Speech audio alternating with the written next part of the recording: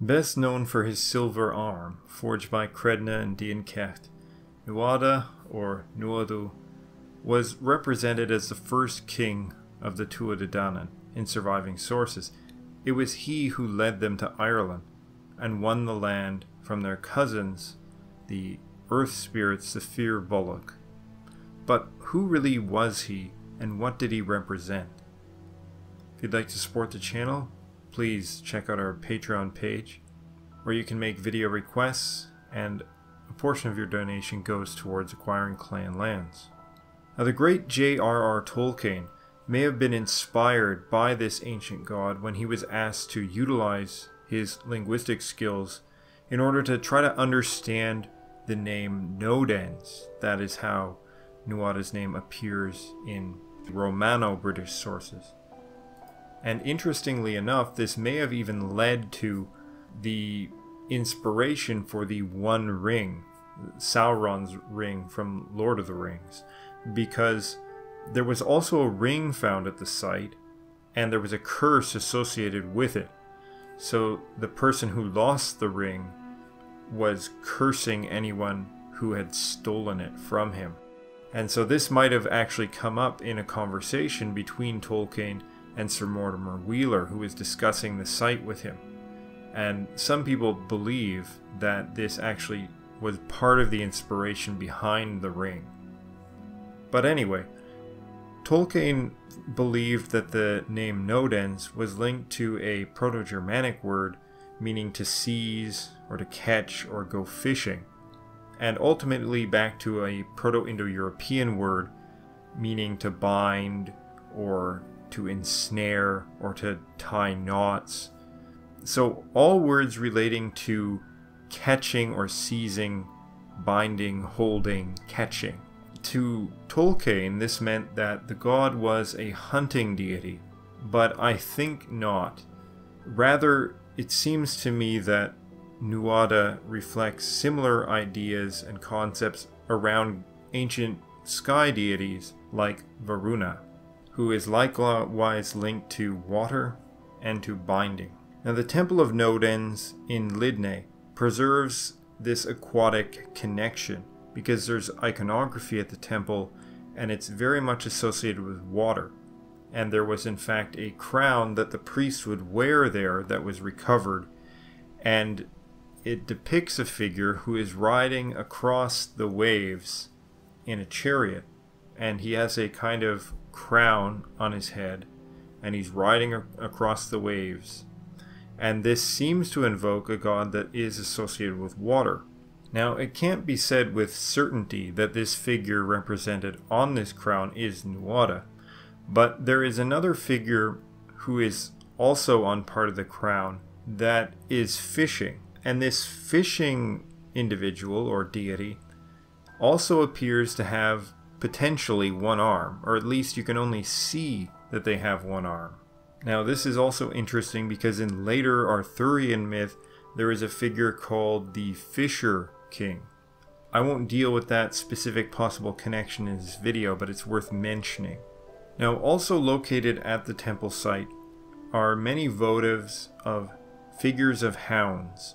So you have a connection with water, a connection with hounds, and there is also a strong connection with a potential healing cult. And there may have been a chamber in the temple where devotees could go and sleep in order to receive prophetic dreams. Now, as it turns out, all three of these things are related to directly to Nuada in Irish myth, and we're going to see exact examples of that. Now, the main story about Nuada is that he is the first king of the Tuatha and that he leads them to Ireland and leads them to victory over the Fir Bolg. But in the process of that battle, he loses his arm and is thus unable to remain on as king.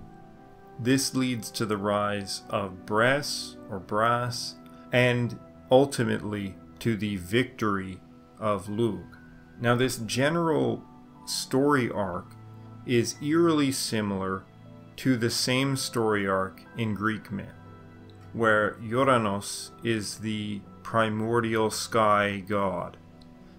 But he is emasculated, and his role is then stolen by Kronos, who then must be defeated by Zeus. Now, that doesn't mean that all of the gods are identical to those of the Greek story, but it suggests that either the Irish one is borrowing from that template or they have a, a very, very ancient similar origin. And I would tend towards the latter because if they were borrowing, we would expect probably that they'd be borrowing more than simply the story arc, that there would be significant elements of overlap, but most of the elements are different.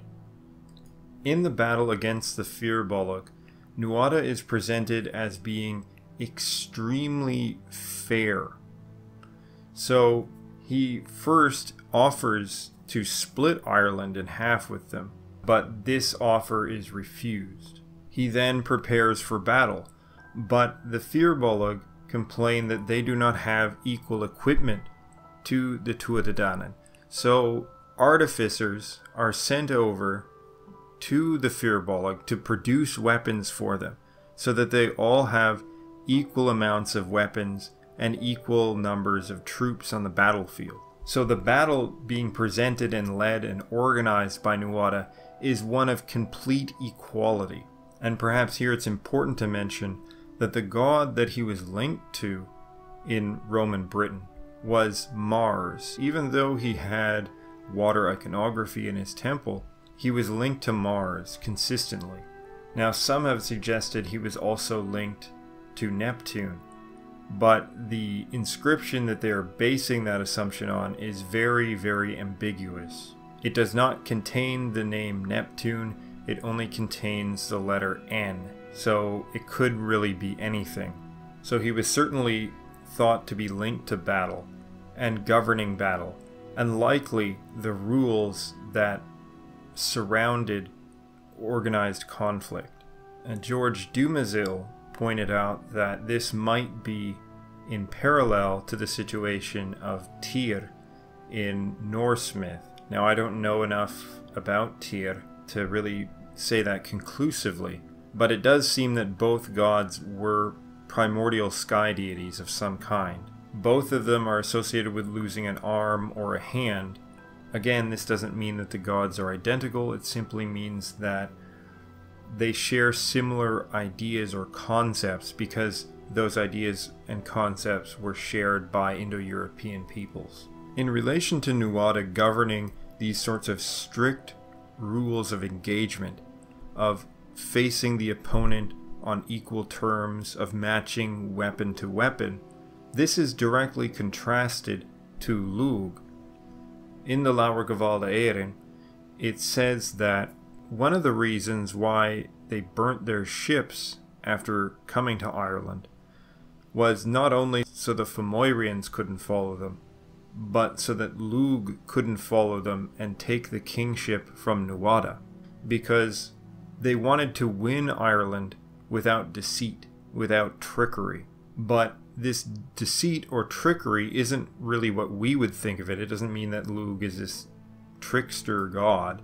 It is, in fact, that he simply fights to win, whereas Nuada fights according to set rules and regulations.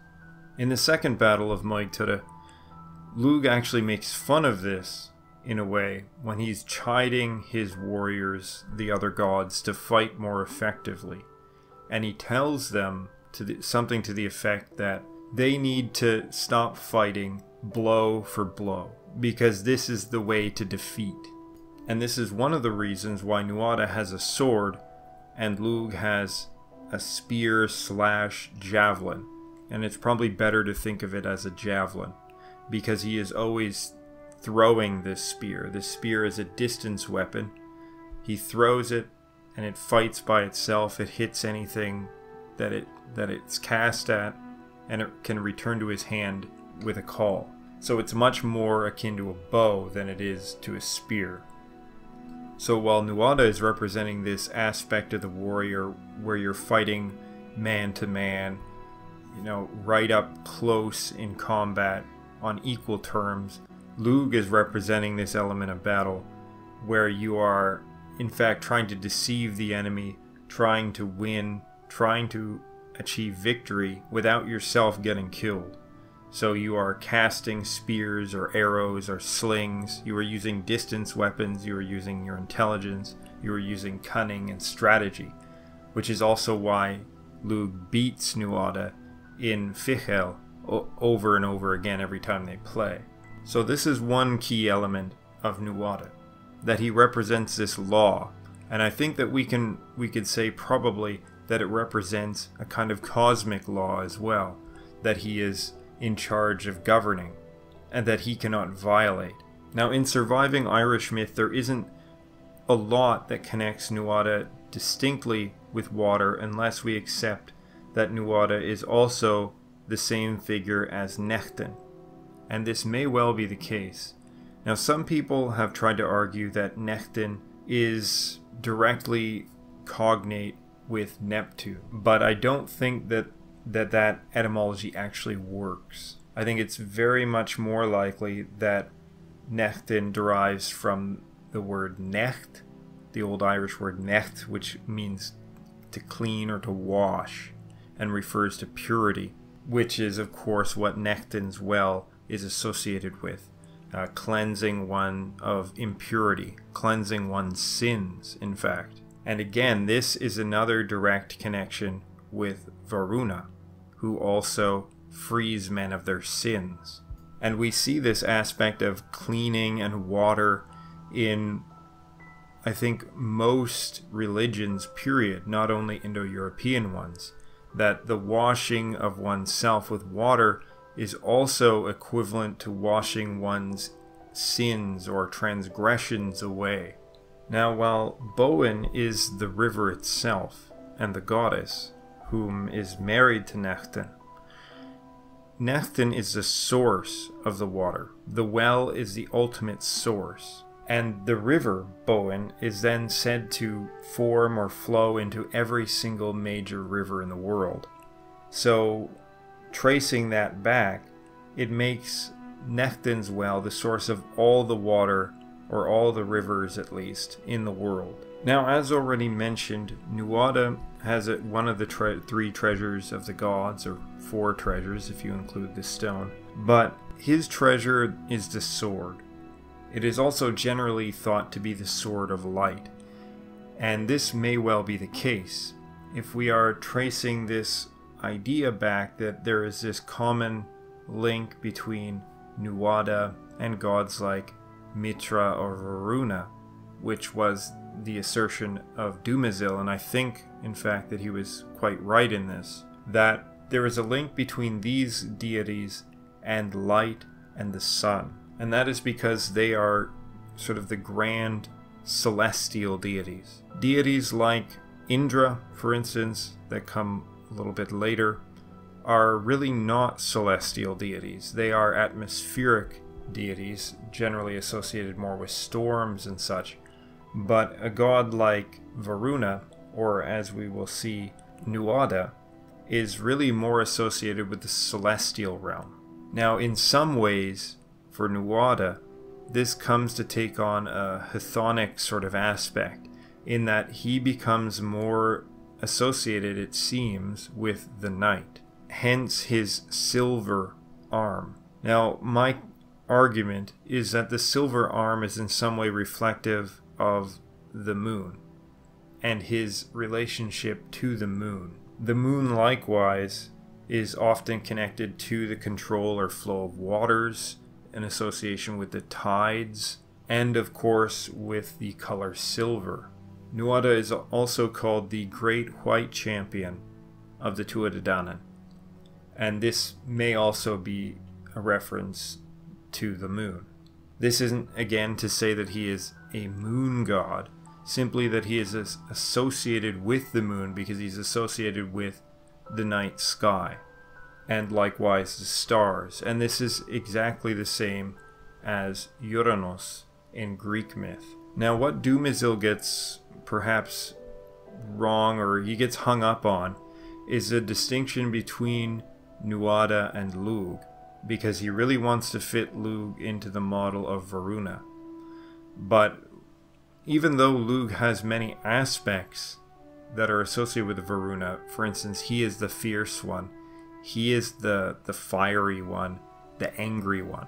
And Dumézil has this structure that he wants to say that the god Mithra, or the framework of Mithra, is always associated with the kinder, gentler god uh, who is associated with the day.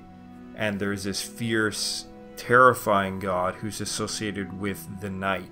So Nuada is associated with the sword, and the sword he obtains from the island of Findias.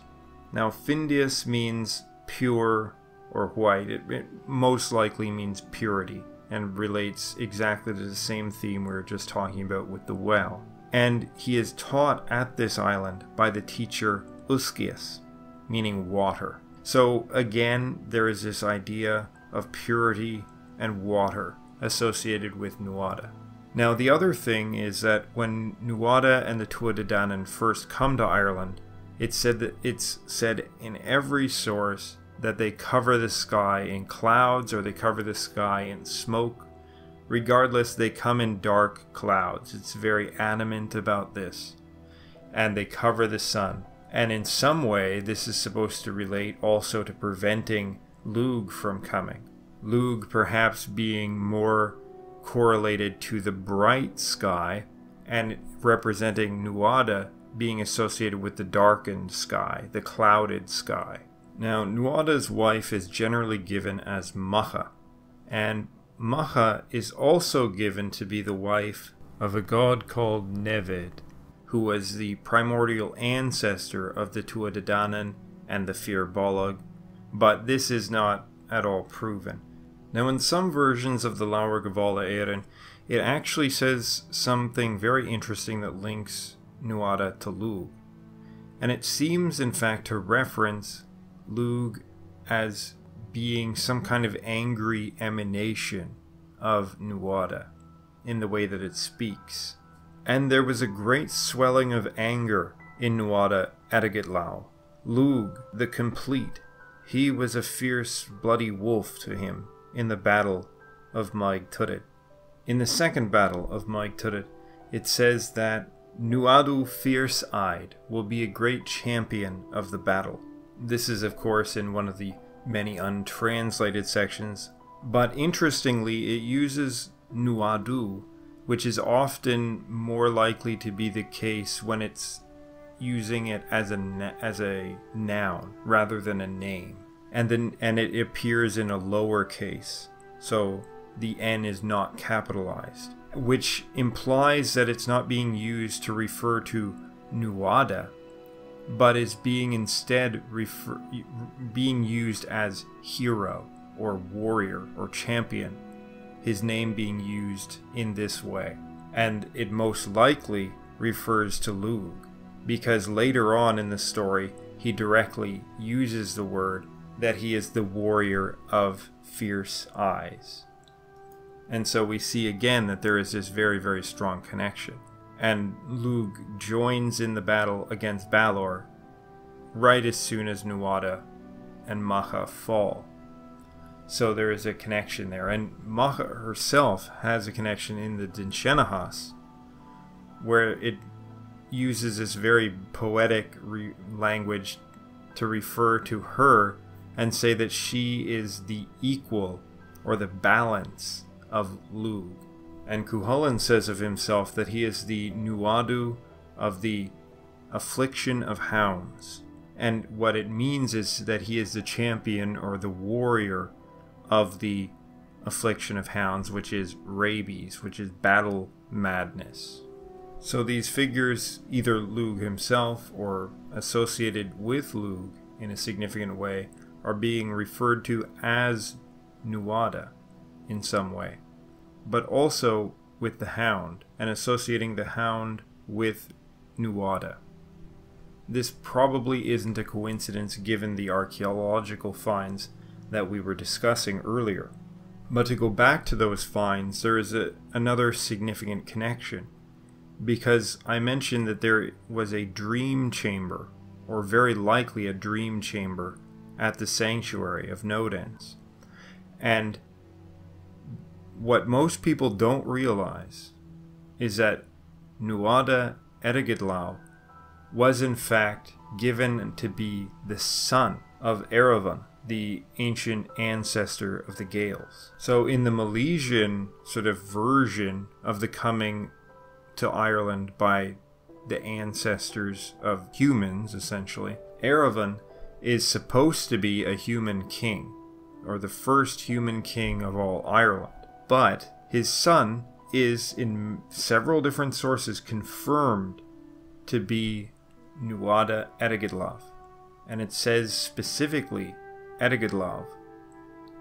And his alternate name was Iril Fa, which means, well, I haven't been able to figure out what the first part of the name means, but Fa, or Fath in older pronunciation, was a seer, a prophet. And in fact, it's a word that's incorporated into um, Christian translations of the Bible.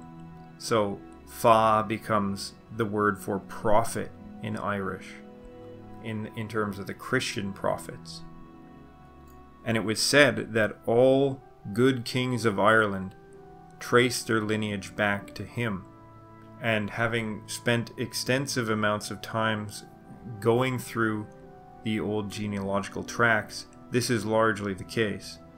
It is either to him or to Lug or to often to both, and one will often be presented as the father of the other. So Lug is sometimes the father of Nuada, sometimes he is a great grandfather, sometimes he is a son. Either way, they are almost always present in the same genealogical tracks. And in the story of the Milesians, of course, there is Lugaid Mac Ich, but anyhow, the fact that he is referred to as a Fath means that he was thought of as being a prophetic god. And so this also links back to the idea that he had a dream shrine or a dream chamber where presumably the god would come to one in their sleep or present dreams uh, for the visitor to be interpreted. Now, this, of course, is a melding of traditional Celtic practice with Roman practice. But nevertheless, there are elements that you can see in Irish stories where this sort of dream interpretation takes place. There are several tales where druids are asked to interpret dreams for people. And so this sort of thing was likely an authentic tradition, not simply a Roman import.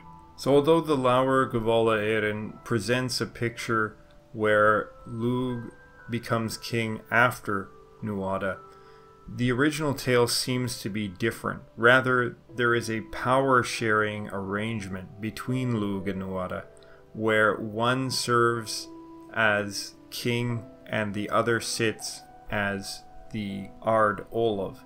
And effectively, they were joint kings. So the basic rundown is that Nuada reflects a king who is not able to keep his power without the fierceness or the intelligence of his second half, effectively. Now, he represents the law and the rule, but he needs his other part in order to enforce that. So, this is the dynamic that Dumézil was mentioning between this fierce god and this god of law and contract. Now, it doesn't break down the same way that Dumézil was expecting it to, but it does break down into these two different parts. And Lugh is the enforcer part, and Nuada is the more laid back deity. And Lugh, in fact, directly insults him for this reason in the surviving tale of the children of Tuireann, where he is angry with Nuada for not taking more hostile action against the Fomorians. In Welsh myth, we have this mimicked in the tale of Lludd is thought to come from Nave, which comes from Nodens, and Llefelys is thought to come from Se, which is Lugh. Now, in this tale, Lludd is faced with a catastrophe to his kingship.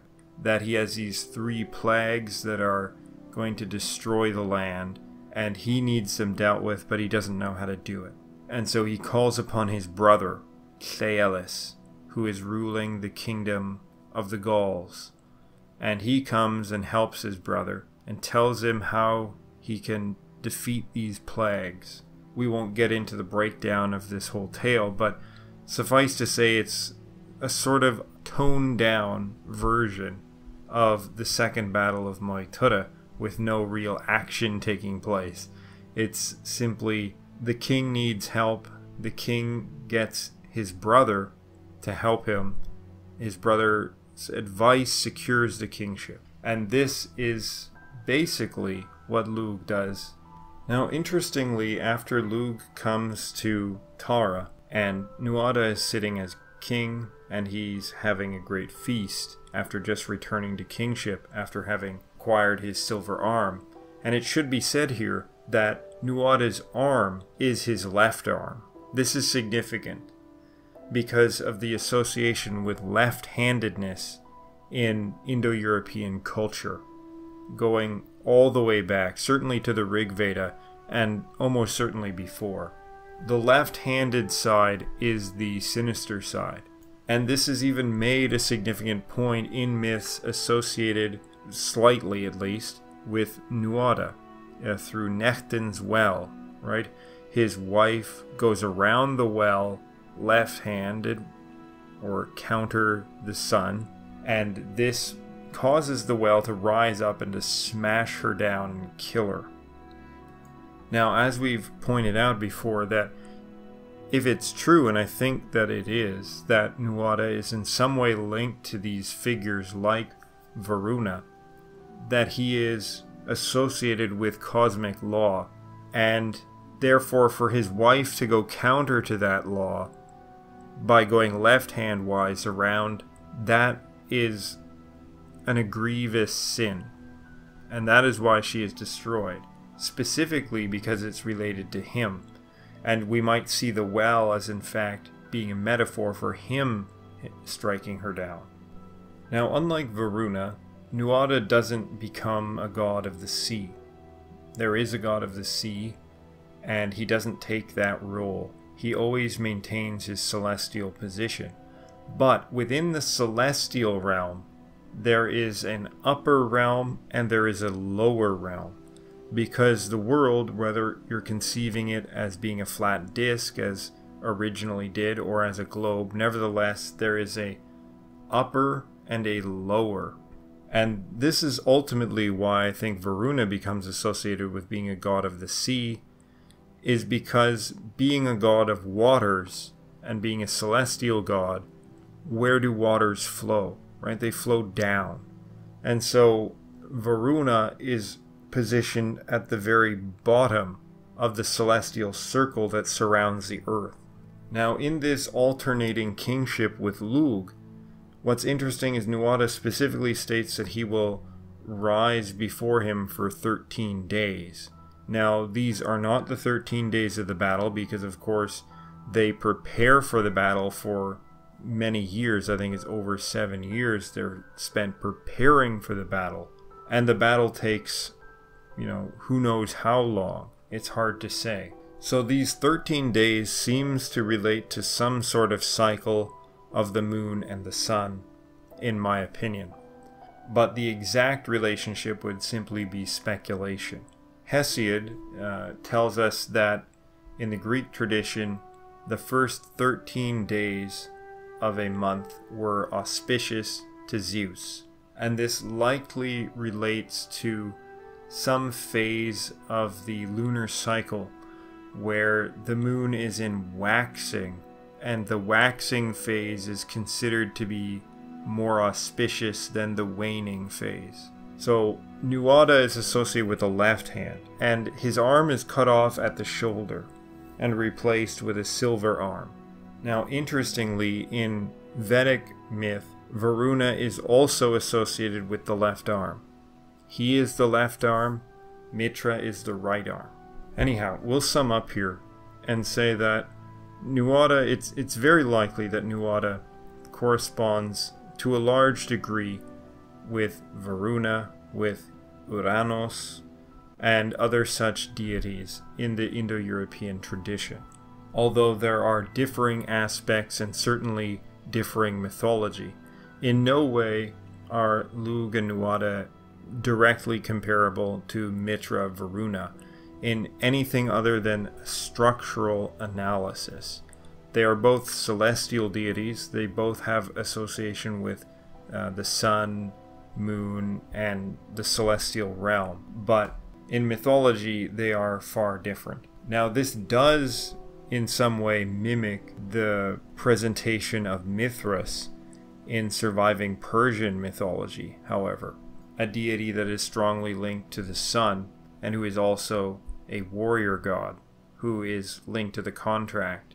And Lugh's name is postulated to be related to Luig, meaning oath, but that is, of course, just one of various possibilities. But if this is the case, it is simply another argument in favor of this correlation between Nuada Lugh and Mitra Varuna, because Dumézil wasn't even aware of this, that the names really do kind of link up. If Lug's name does relate to the oath, then this would seem to directly correlate him with Mithra. And Nuada, as we've already seen, has this relation to binding and capturing or seizing that would seem to directly relate him to Varuna. Nuada has a potential association with the moon and the night sky and water. Lugh is well known to be associated with the sun. Both are likely associated with fire, but Lugh certainly uh, very associated with fire and heat in general. And there's this interesting dynamic between Mitra and Varuna where one is said to be the light, one is said to be the heat of the fire. And then you have the sword of Nuada being this sword of light, but you have the spear of Lugh being this hot, fiery spear, and Lugh being associated with heat and called the one who never cools. So, although it doesn't exactly work out the way Dumézil thought, I do think that this general association is correct, but it's more likely that Nuada is more similar to Varuna and that Lugh is more similar to Mitra. But you can't simply read a Vedic hymn and say, well, this is exactly the way Nuada is conceived, or this is exactly the way that Lug is conceived from those hymns. It doesn't work that way because the way that they came to understand the gods and combine different aspects of different deities uh, makes them very, very different in their overall functions. But the structure is the same, and the dynamic between the two is very similar. But in Vedic hymns, Mitra has become a mere shadow of Varuna. He barely has an independent identity left. But in Irish sources, Lug has this fierce warrior aspect, but he's also very much tied with the sun. So he combines aspects of gods that probably were broken off and made into independent deities, but at one point in the ancient past were simply one deity. For instance, Savitar is often linked to Mitra, is often linked to Pushan, is often linked to Agni, right? Probably in origin, most of these gods were the same deity. And if they were, that deity would be very, very close to Lug as presented in surviving sources. But the personality wise, it's it's different as well because in personality, Varuna is the one to fear, but in Celtic myth, Lugh is the one to fear. The personalities, the aspects are, are a little bit reversed, even though Nuada functionally seems to be more like Varuna and it would seem that the reason that Lugh has to be the one to destroy the Fomorians is specifically his relation to light and fire, that he can basically burn them away, because they are dark beings. In fact, they are called men of Africa in later version. So they were conceived of as being dark, as being black. Anyhow, this has been a long video, and if you've made it through this, I'm impressed. I hope you found it interesting and informative, however. It is the result of a lot of work, and so if you'd like to support me on Patreon, I would very much appreciate it. Please like, share, and subscribe. Gurv mi lamagat as éisteach Marigoni Shasko Hard.